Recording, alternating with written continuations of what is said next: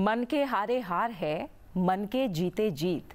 इसलिए जीवन में कितने ही संघर्षों का सामना क्यों ना करना पड़े, मन को कभी मत हारने दीजिए। सुप्रभात, नमस्कार, मैं हूँ प्रीति सिंह। आइए, शुरुआत करते हैं मुख्य गतिविधियों के साथ।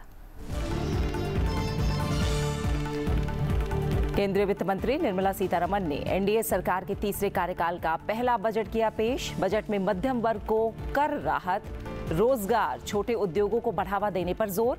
अगले पाँच साल में रोज़गार सृजन से जुड़ी योजनाओं के लिए दो लाख करोड़ रुपए।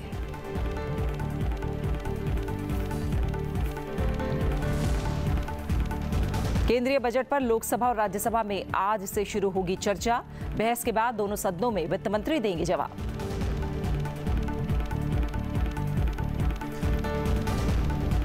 बजट 2024-25 में मिला बिहार और आंध्र प्रदेश को खास तोहफा। आंध्र प्रदेश को पंद्रह हज़ार करोड़ रुपए की विशेष वित्तीय सहायता।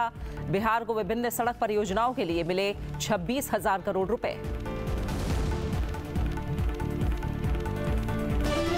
प्रधानमंत्री नरेंद्र मोदी ने बजट को बताया, देश के गाँव गरीब और किसानों को समृद्धि के रास्ते पर ले जाने वाला। कहा, देश में गरीबी समाप्त हो गरीब का हो सशक्तिकरण। इस दिशा में बजट में की गई हैं घोषणाएँ। इस बजट से युवाओं को मिलेंगे अवसर।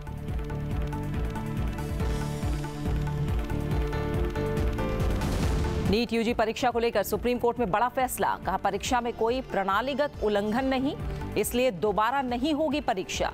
शिक्षा मंत्री धर्मेंद्र प्रधान ने कहा, सत्य की जीत है।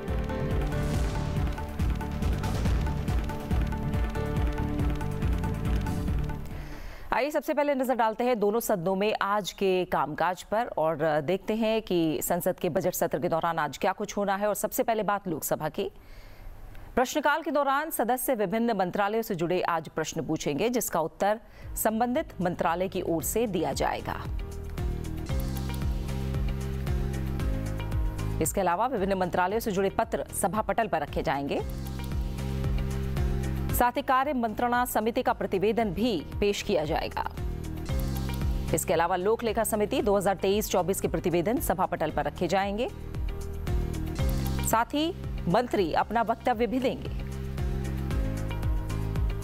नियम 377 के अंतर्गत अविलंबनीय लोक महत्व के मामले उठाए जाएँगे।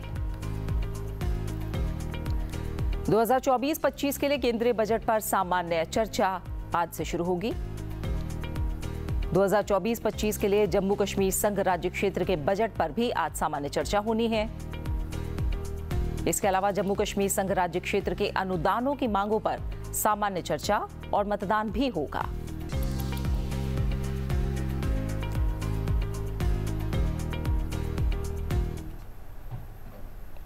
और आइए देखते हैं राज्यसभा में आज क्या कुछ रहेगा खास। एक नज़र राज्यसभा के कामकाज पर। विभिन्न मंत्रालयों से जुड़े पत्र आज उच्च सदन के पटल पर रखे जाएँगे। लोक लेखा समिति के प्रतिवेदन सभा पटल पर रखे जाएँगे। अन्य पिछड़े वर्गों के कल्याण संबंधी समिति के लिए निर्वाचन का प्रस्ताव भी रखा जाएगा। अनुसूचित जातियों, जनजातियों के कल्याण संबंधी समिति के लिए नाम निर्देशन के प्रस्ताव रखे जाएँगे। सरकारी उपक्रमों संबंधी समिति के लिए नाम निर्देशन के प्रस्ताव रखे जाएँगे।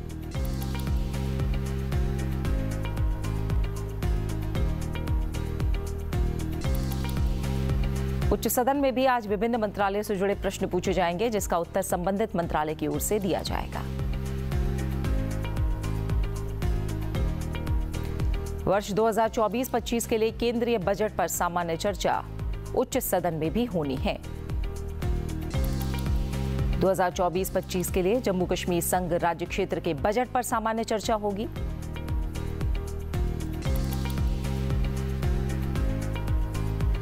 केंद्रीय वित्त मंत्री निर्मला सीतारमन ने एनडीए सरकार के तीसरे कार्यकाल का पहला बजट पेश किया। बजट के माध्यम, बजट से मध्यम वर्ग को कर में राहत दी गई है। रोज़गार, छोटे उद्योगों को बढ़ावा देने पर ज़ोर दिया गया है। वित्त मंत्री निर्मला सीतारमन ने मंगलवार को पेश आम बजट में आयकर के मोर्चे पर कुछ बदलावों की घोषणा करते हुए मध्यम वर्ग और नौकरी पेशा लोगों को राहत दी है। साथ ही अगले पाँच साल में रोज़गार सृजन से जुड़ी योजनाओं के लिए दो लाख करोड़ रुपए के व्यय और नए गठबंधन सहयोगियों के राज्यों के लिए अधिक राशि का प्रावधान किया गया है। इस बजट में ग्रामीण विकास के लिए दो दशमलव छः छः लाख करोड़ रुपए का प्रावधान किया गया है और आर्थिक वृद्धि को बढ़ावा देने के लिए बुनियादी ढांचा परियोजनाओं के लिए ग्यारह दशमलव एक एक लाख करोड़ रुपए रखे गए हैं the people of India have reposed their faith in the government led by Honorable Prime Minister Sri Narendra Modi and re-elected it for a historic third term under his leadership.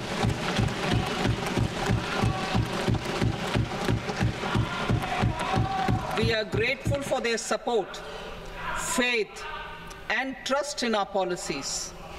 We are determined to ensure that all Indians, regardless of religion, caste, gender, and age, make substantial progress in realizing their life goals and aspirations.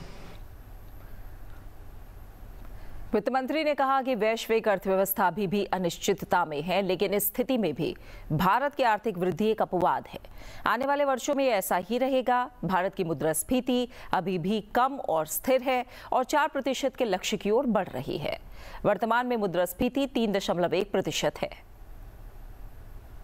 The global.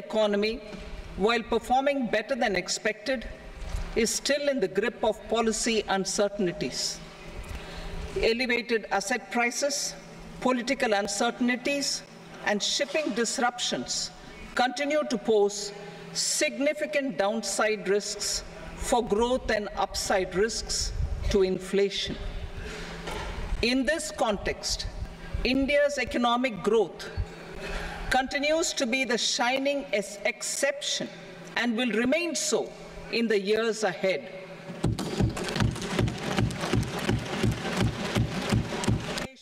Continues to be low, stable, and moving towards the 4% target. Core inflation, that is non food and non fuel, currently is 3.1%. Steps are being taken to ensure supplies of perishable goods reach markets adequately. वित्त मंत्री ने कहा कि इस साल के budget में नौ प्राथमिक क्षेत्रों पर ध्यान केंद्रित किया जा रहा है। उन्होंने कहा कि आगामी बजट को इनके आधार पर ही तैयार किया जाएगा।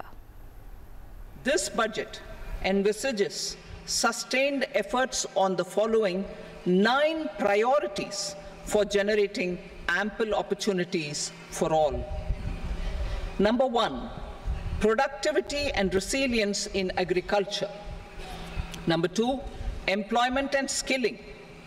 Number three, inclusive human resource development and social justice. Four, manufacturing and services. Five, urban development.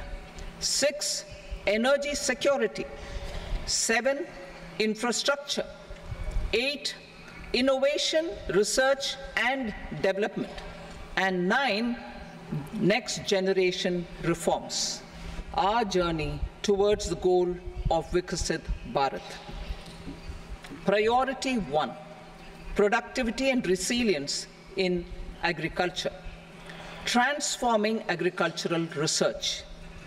Our government will undertake a comprehensive review of the research, agricultural research setup to bring the focus on raising productivity and developing climate resilient varieties.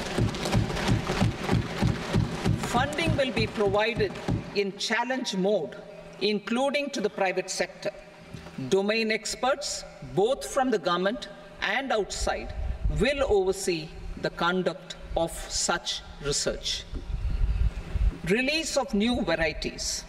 New 109 high yielding and climate resilient varieties of 32 field and horticultural crops will be released for cultivation by farmers. इस budget में किसानों और farming को लेकर कई खास घोषणाएं की गई हैं सरकार का नेचुरल फार्मिंग पर विशेष फोकस है Natural farming.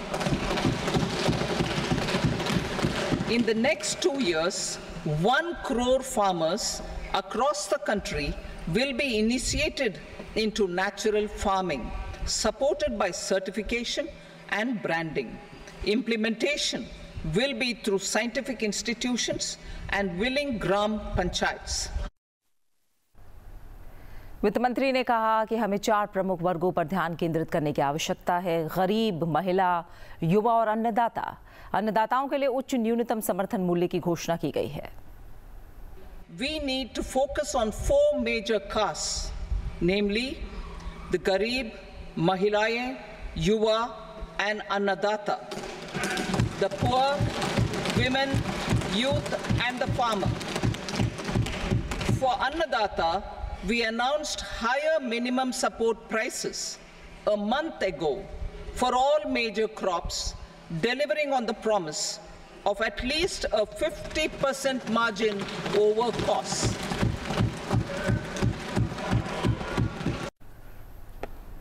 PM Garib Kalyan Anna योजना को बढ़ाया गया है जिससे 80 करोड़ लोगों को लाभ होगा प्रधानमंत्री Garib Kalyan Anna Yojana was extended for five years, benefiting more than 80 crore people. Budget पेश करते हुए स्टार्टअप में सभी श्रेणी के निवेशकों के लिए एंजल कर, यानी एंजल टैक्स समाप्त करने की घोषणा की गई है। साथ ही मोबाइल फ़ोन और सोने पर सीमा शुल्क में कटौती की गई है और पूंजीगत लाभ कर को सरल बनाया गया है। Mobile phone and related parts With a threefold increase in domestic production and almost a hundred-fold jump in exports of mobile phones over the last six years, the Indian mobile industry has matured. In the interest of consumers, I now propose to reduce the BCD on mobile phone, mobile PCBA, and mobile charger to 15 percent. वित्त मंत्री ने budget पेश करते हुए कहा कि हमारी सरकार ने आंध्र प्रदेश पुनर्गठन अधिनियम में की गई प्रतिबद्धताओं को पूरा करने के लिए प्रयास किए हैं उन्होंने कहा कि राज्य की पूंजी की आवश्यकता को समझते हुए हम बहुपक्षीय एजेंसियों के माध्यम से विशेष वित्तीय सहायता की सुविधा प्रदान करेंगे चालू वित्त वर्ष 2024-25 में भविष्य के वर्षों में अतिरिक्त राशि के साथ पंद्रह हज़ार करोड़ रुपए की व्यवस्था की जाएगी आंध्र प्रदेश Reorganization Act. Government has made concerted efforts to fulfill the commitments in Andhra Pradesh Reorganization Act.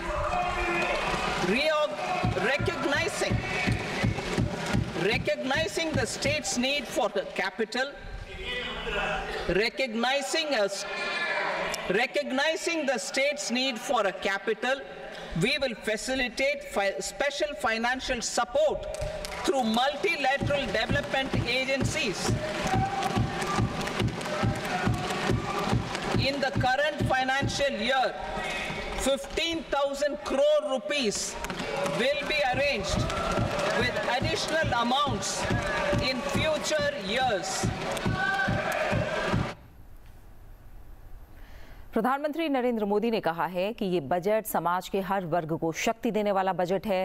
ये देश के गाँव, गरीब किसानों को समृद्धि के राह पर ले जाने वाला बजट है।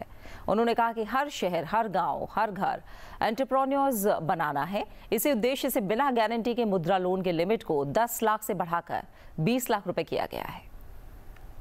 हमें हर शहर, हर गाँव, हर घर एंटरप्रेन्योर्स बनाना है। इसी उद्देश्य से बिना गारंटी के मुद्रा लोन की लिमिट को 10 लाख से बढ़ाकर 20 लाख रुपए किया गया है। इससे छोटे कारोबारियों, विशेष रूप से महिलाओं, दलित, पिछड़े, आदिवासी परिवारों में स्वरोजगार को बल मिलेगा। प्रधानमंत्री नरेंद्र मोदी ने कहा कि हम सब लोग मिलकर भारत को ग्लोबल मैन्युफैक्चरिंग हब बनाएँगे। देश का एमएसएमई सेक्टर मध्यम वर्ग से जुड़ा हुआ है। हम सब लोग मिलकर भारत को ग्लोबल मैन्युफैक्चरिंग हब बनाएँगे। देश का एमएसएमई सेक्टर मध्यम वर्ग से जुड़ा हुआ है। एक प्रकार से एमएसएमई सेक्टर की ओनरशिप मध्यम वर्ग ही है। और इसी सेक्टर से गरीबों को ज़्यादा से ज़्यादा रोज़गार भी मिलता है। छोटे उद्योगों की बड़ी ताकत उस दिशा में हमारा अहम कदम है। इस बजट में एमएसएमई के लिए ईज ऑफ़ क्रेडिट बढ़ाने वाली नई योजना का ऐलान किया गया है।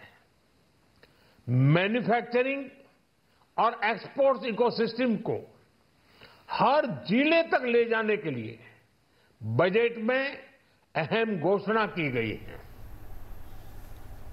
प्रधानमंत्री ने कहा कि बजट में सरकार ने एम्प्लॉयमेंट लिंक्ड इंसेंटिव स्कीम की घोषणा की है, जिससे देश में करोड़ों नए रोज़गार बनेंगे। रोज़गार और स्वरोजगार के अभूतपूर्व अवसर बढ़ा ये हमारी सरकार की पहचान रही है। आज का बजट इसे और सुदृढ़ करता है। देश और दुनिया ने पीएलआई स्कीम की सफलता देखी है। अब इस बजट में सरकार ने एम्प्लॉयमेंट लिंक्ड इंसेंटिव स्कीम की घोषणा की है। इससे देश में करोड़ों करोड़ों नए रोज़गार बनेंगे। इस योजना के तहत जीवन में पहली नौकरी पाने वाले युवा की पहली तनख्वाह हमारी सरकार देगी। स्किल डेवलपमेंट और उच्च शिक्षा के लिए मदद हो या फिर एक करोड़ नौजवानों को इंटर्नशिप की योजना, इससे गाँव के, गरीब के, मेरे नौजवान साथी, मेरे बेटे, बेटी देश की टॉप कंपनियों में काम करेंगे। उपराष्ट्रपति और राज्यसभा के सभापति जगदीप धनखड़ ने मंगलवार को सांसदों और सदन के फ्लोर नेताओं से आग्रह किया है वो नियम दो के तहत उनके द्वारा दैनिक आधार पर पेश किए जाने वाले नोटिस का आत्मनिरीक्षण करें। इस आदत को प्रावधान का अंधाधुंध उपयोग उन्होंने करार दिया। सदन की कार्रवाई शुरू होते ही सभापति को सूचित कि उन्हें नियम दो सौ सड़सठ के तहत पाँच नोटिस मिले हैं, लेकिन इन्हें अस्वीकार कर दिया गया है। उन्होंने कहा कि नियम दो सौ सड़सठ का इतना उदारतापूर्वक उपयोग हमारे लिए अच्छा नहीं है। साथ ही उन्होंने कहा कि मैं सदस्यों और सदन के नेताओं से आग्रह करता हूँ कि वो नियम दो सौ सड़सठ के तहत प्रावधानों का प्रतिदिन अंधाधुन उपयोग करने पर गंभीरता से चिंतन करें। साथ ही इसे लेकर आत्मनिरीक्षण की भी ज़रूरत है। I have received five notices under Rule 267. And imagine the agenda we have for the day. We want to have that agenda suspended. The notice from Sri Johar Sarkar, members seeking discussion over sudden spike in terrorist activities in Jammu and Kashmir. Shrimati Sagarika Ghosh Shri Saket Gokhale Shri Mohammad Nadimul हक members have sought discussion over fake certificates being used for appointment through UPSC. Srimati Susmita Dev has demanded to abolish National Testing Agency and decentralize the examination process. Honorable members, the only listed business for today is laying of Union Budget 2024-2025 fiscal policy statements 2024-25 and the budget of Union Territory of Jammu and Kashmir 2024-25, which is a constitutional requirement in terms of Article 112 of the Constitution of India. I fail to comprehend what these members want to dispense. Do we not want these papers to be laid on the table of Rajya Sabha? Such a liberal use of Rule 267 is not doing any good to us. Honorable members may also recall that Rules 267 has been rarely resorted to in the past. Last time it was accepted in 2016. Keeping in view fact, one second, take your seat. Keeping in view fact that in the past 36 years, this provision has been allowed on about six occasions, and I get it on every sitting of the session, number of them. I urge the members and floor leaders to seriously reflect and introspect this indiscriminate resort to the provisions of Rule 267 on a daily basis, virtually without exception, when the House is in session. These notices do not conform to the directives imparted by the chair in this behalf. The same I cannot proceed myself to accept. अंतर संसदीय संघ की अध्यक्ष और Tanzania के national assembly के अध्यक्ष Tulia action Bharat यात्रा पर हैं। अपनी भारत यात्रा के दौरान तुलिया एक्सन ने कल बजट सत्र देखा। तुलिया एक्सन 19 जुलाई को भारत के आधिकारिक यात्रा पर आई थी। वित्त मंत्री निर्मला सीतारमन ने कल केंद्रीय बजट पेश किया और इस समय ये प्रतिनिधिमंडल लोकसभा के विशेष बॉक्स में मौजूद था। लोकसभा अध्यक्ष ओम बिरला ने उनका स्वागत किया। लोकसभा अध्यक्ष ओम बिरला ने उम्मीद जताई कि डॉक्टर एक्सन की यात्रा से दोनों देशों के बीच द्विपक्षीय संबंध और मज़बूत होंगे। माननीय सदस्यगण, मुझे अपनी ओर से तथा सदन के मान्य सदस्यों की ओर से अंतर संसदीय संघ, आईपीयू की प्रेसिडेंट और तंजानिया संयुक्त गणराज्य की नेशनल असेंबली के अध्यक्ष माननीय डॉक्टर तुलिया एक्शन का स्वागत करते हुए अत्यंत प्रसन्नता हो रही है। वे हमारी सम्मानित अतिथि के रूप में भारत की आधिकारिक यात्रा पर आई है। ये हमारे लिए खुशी की बात है कि डॉक्टर एक्शन बजट सत्र को देखने के लिए यहाँ उपस्थित है।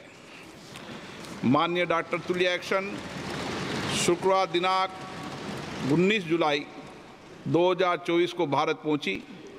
उन्होंने 21 जुलाई 2024 को आगरा का भ्रमण किया और इस समय वह विशेष बॉक्स में आसीन है। हम भारत में उनके सुखद और सफल प्रवास की कामना करते हैं। हम अंतर संसदीय संघ के प्रेसिडेंट के रूप में उनकी भूमिका के लिए सफलता की भी कामना करते हैं। उनके माध्यम से हम तंजानिया गणराज्य की संसद के सदस्यों, तंजानिया की सरकार तथा वहाँ की मित्र जनता को बधाई और शुभकामनाएँ देते हैं। कुछ और अहम खबरें। नीट यूजी परीक्षा को लेकर मंगलवार को सुप्रीम कोर्ट का बड़ा फैसला आया। कोर्ट का कहना है कि परीक्षा में कोई प्रणालीगत उल्लंघन नहीं हुआ, इसलिए इसकी दोबारा परीक्षा नहीं होगी। सुप्रीम कोर्ट ने नीट यूजी 2024 को रद्द करने की मांग को ये कहते हुए खारिज किया है कि मौजूदा स्तर पर रिकॉर्ड पर पर्याप्त सामग्री का अभाव है, जिससे ये निष्कर्ष निकाला जा सके कि परीक्षा का परिणाम दूषित है। केंद्रीय शिक्षा मंत्री धर्मेंद्र प्रधान ने इस फैसले की सराहना करते हुए कहा कि ये सत्य की जीत है। उन्होंने ये भी कहा कि प्रधानमंत्री नरेंद्र मोदी के नेतृत्व में सरकार ज़ीरो एरर एग्जामिनेशन सिस्टम के लिए प्रतिबद्ध है।